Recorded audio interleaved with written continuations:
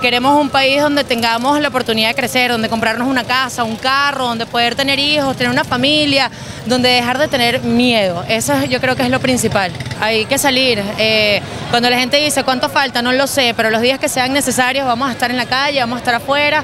Eh, no hay vuelta atrás. Yo siempre le digo, esta es como, como mi lucha final y hay que dejarlo todo en la calle. Así que salgan, acá estamos un montón de gente que los estamos esperando. En verdad que esto está insostenible, cada día hay más problemas enfermedades, las medicinas no se consiguen, no hay comida. Los jóvenes sonamos como una Venezuela libre, en donde hay oportunidades de trabajo. De verdad que este, uno tenga futuro con los estudios, que hayan buenas universidades, que sirvan los colegios, los liceos. Sobran las razones para venir a protestar el día de hoy. Hoy tenemos un objetivo muy claro, que es ir al Ministerio de Interior y Justicia, y allí queremos, bueno, decirle al asesino Ernesto Reverol que deje de matar a los estudiantes, que deje de matar y perseguir a los jóvenes, que deje de encarcelar a los sueños que son incarcelables.